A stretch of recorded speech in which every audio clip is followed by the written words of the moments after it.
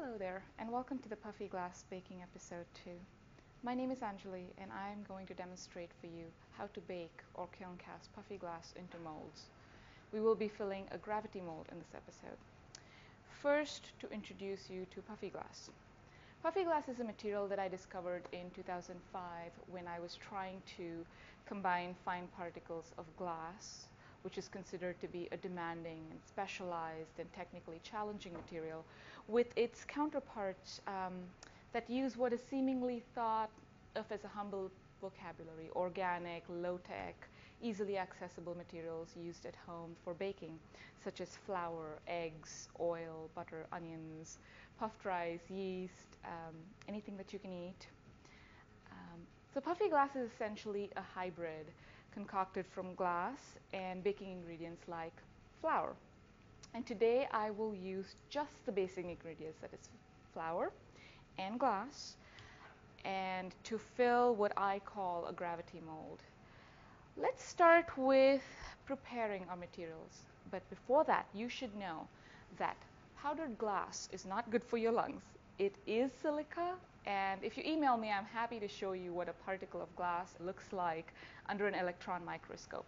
Trust me, the glass even at that scale looks like a bigger shard would and not so good.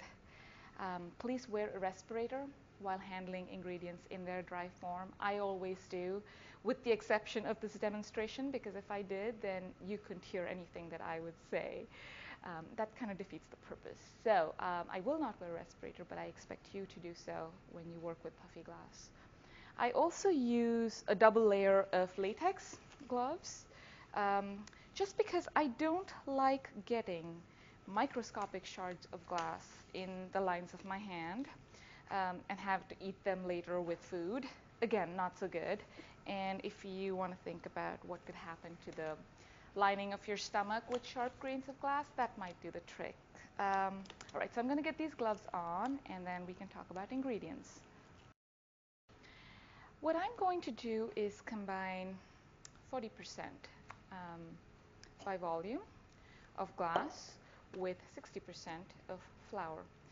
Um, now the variable depends on the kind of texture you would like and um, you know, I can do 50-50, I can do 60-40, I've even done a 70 and 30, going either way.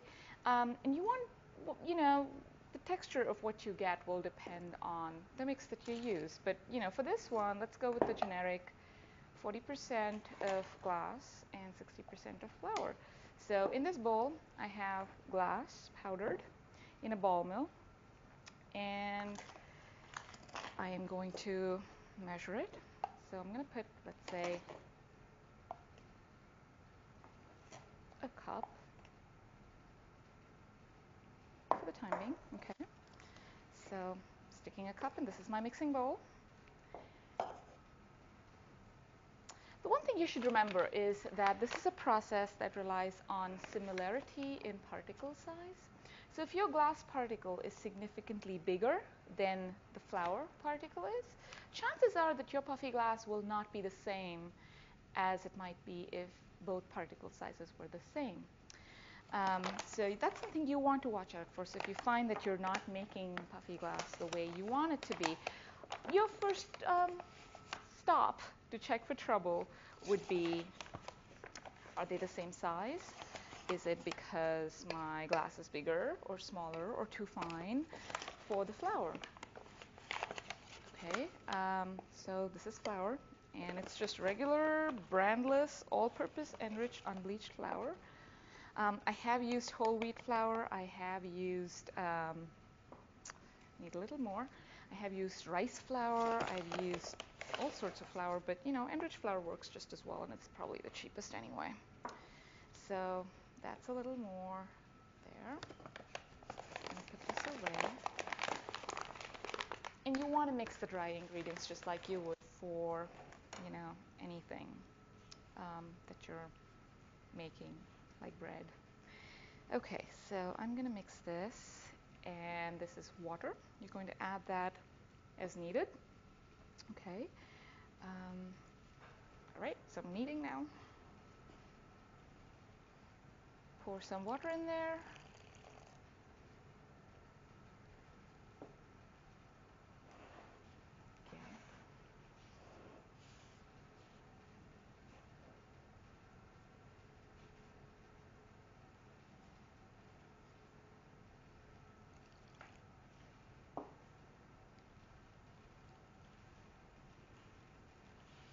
Again, you don't want to add too much water there isn't a calculation of water that I use. At this point, I'm using instinct as someone who bakes bread um, to decide how much water needs to go into this recipe till my bread feels good or the dough feels good.